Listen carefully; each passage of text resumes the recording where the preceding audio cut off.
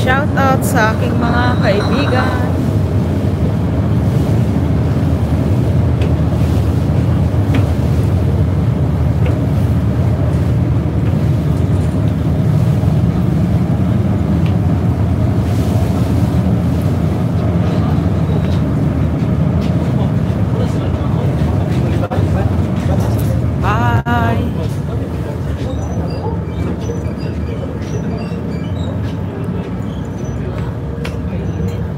Ay, kukunti lang yung sasakyan. Hoy, Michi Manalo, Miguel Up shoutout. Yan, paalis na kami dito sa Dumaguete. Hoy, huwag kalimutang magtamsak. Uy, umagang kay ganda host. Yes, umagang kay ganda. Akala ko kasi walang ano eh.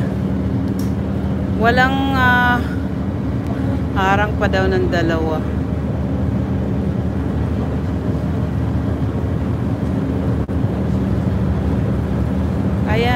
Ayan, paglis na kami ng Dumaguete.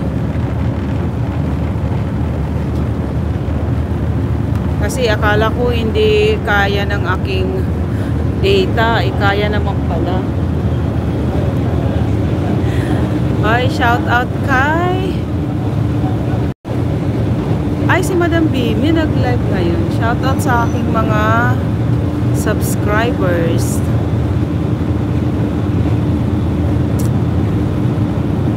Guys, papunta kami ng Cebu City. So tatawid kami ngayon. Actually, 45 minutes lang naman ito. Time check. It's already 5 uh, 40. Kasi 5.30 umalis yung ano. Pero actually, kanina pa kami dyan for naiwanan kami nung first trip ng 4 o'clock. So, ang next trip is 5.30. So, sabi ko mag-live-live na lang ako. Kasi bumaba ako dun sa sasakyan. Yun yung sasakyan namin, yung black. Black na Fortuner. So, wala masyadong ano ngayon. Pero kanina, yung first trip, mas marami daw. May bus pa. Thanks, Michi Manalo. Umagang kay ganda rin.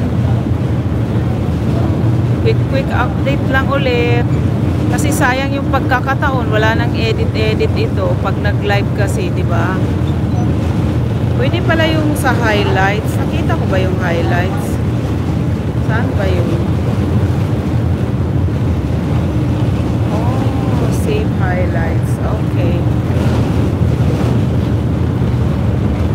So, mas maganda pala guys pag maaga. Kasi oh wala masyadong sasakyan. At saka hindi masyadong mainit papunta ng Cebu. Uy Mama Lu tambay harang. Thank you. Maingay ba Mama Lu? Baka naka live ka. Pangalawang tusok. Ay maraming salamat. Yan tatawid po kami. Papunta po kami ng Cebu. Bukas pa po ang uwi namin. Thank you Mama Lu and Michi Manalo. Maingay ba yun? nasa pinakaharap ako eh. Pinakaharap nung ano nung vapor ay vapor ferry boat ayan yung ma thank you sa 2 million in the house. Tapos wala masyadong pasahero. Maingay eh.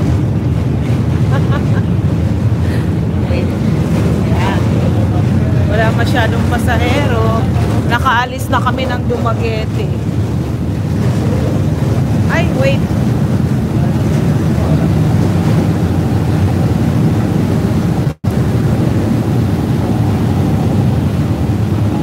Thank you, Michi Manalo, Mamalo, thank you. Parang mas maingay doon. Siguro maingay dito. Ayan, hindi masyadong maingay.